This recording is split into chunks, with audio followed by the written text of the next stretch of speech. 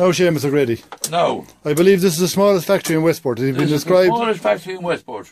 From where I'm sitting, I can leave my hand on anything. and I'm not getting any younger, so if something falls to the ground, for instance, I'm using that scissors, and it falls to the ground, I'm getting on in age, so I have to learn how to pick it up. So I do this. Oh man, that's uh, There you go, right? innovative. Have you haven't patented, patented that idea by any chance? Have you? There you go. And, I, and it sits in that. Yeah. So you're a tailor. I'm a tailor by trade. How long are you a, tra- a tailor for? I'm a tailor 60 years. Six years. And what age are you now? I'm I, I'm a tailor. I'm I'm 68 years of age, and I'm at the I from once I was eight eight years old. I went in, and I was in with my father's shop, sitting up on the bench, learning to sew. And uh, how long was your father at it before you? My father was. He he be- he oh he be- he he be. Fifty. He'd be about fifty-eight years at it. Did he ever tell you when he started the year he started up? he start, he started he, he when he when he started first, he started down in Quarry Lane, in the small workshop out the back, and that time at the quay there was dockers, and the dockers were the only crowd that had money. They had money for drink, but they had money also for to get clothes made, and and they were one of his chief customers.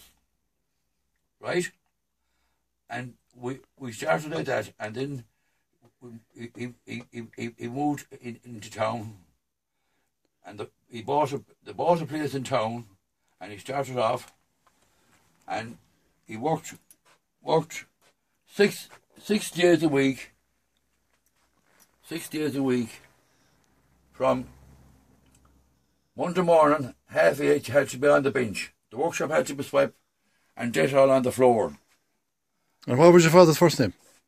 Pa- Patrick And that's the fi- picture of the shop up there Packy O'Grady. That's the, that's the name. Packy Packy O'Grady on the Quay Hill, on the Quay Hill, where Michael Ring is now. Is where it? Michael Ring is now, Yeah, okay. right? So you, um, And I, I left school. I didn't. I never liked school, so I wanted to be a tailor. I always wanted to be a tailor. My father made clothes. He was a ladies and gents. He done he done he done as much ladies as he did gents. Ladies that time got costumes made. And to be always and the funny thing about it was he he'd do the measuring and I'd be writing the measures on the book. But when did it come to the, the measuring the hmm? waist, the waistline, waistline, he'd take the pin out of my hand and he'd write it down rather than call it out. and when he measured them, he would. When they measured the one waist, he wouldn't want to call out her waist. Okay, he was, He'd the pencil out of my hand and he'd write it down himself. he was very discreet. Discreet. Hmm. And were they, But he, he reared a family of 12. Seven boys and five girls. The seven boys had trades, and the, the five women all had shortening and typing. He saw the garden. He often said, only for the garden he might never have reared us. But he worked hard. He wasn't a, a drinking man at all. He was a very, he was a, no, I put it this way to you, he was a noble man. and you lived over the shop We lived out at the quay at the time, with the house at the quay. in Quarry Lane. No, no, No. Up, up further again. But my grandmother lived down in Quarry Lane. Okay. And then we, we, we, we bought the place in town and we rented the top half of it as a little flat at the time. You weren't, you weren't getting them all for it. And, but we'd always, oh, we, we had, we, we, we had, uh, from every house from here to Taliban, I knew every house because every house, they all came into us from that side They're all customers. and a decent crowd. You always got paid. Always you got paid.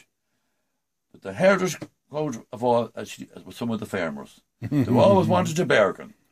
It didn't matter what it was once he bargained. And if you only gave him something off, that was it. And uh, But, but every suit that was ever made in our workshop was drafted out on cloth. No patterns, no patterns at all.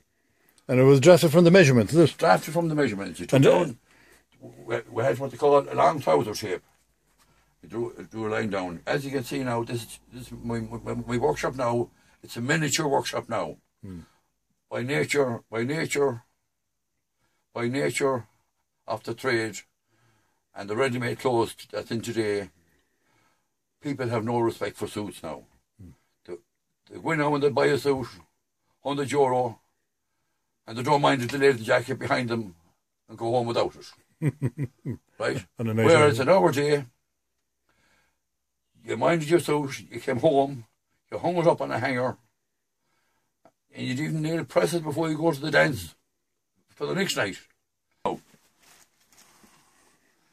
The sad thing about it is, is that it's a dying trade. Oh, it is. It is.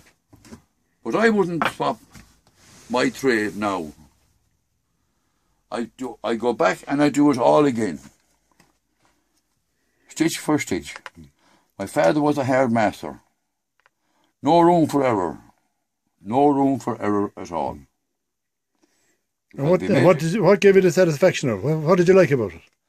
I loved the finished garment on the man, and he put it on him, and he'd look, and he'd say, I'd one particular customer. He'd say, You're the only man that can put a collar on a coat the way I like it. Because he'd have a half inch of the white shirt right around the collar. He said, That's what I like.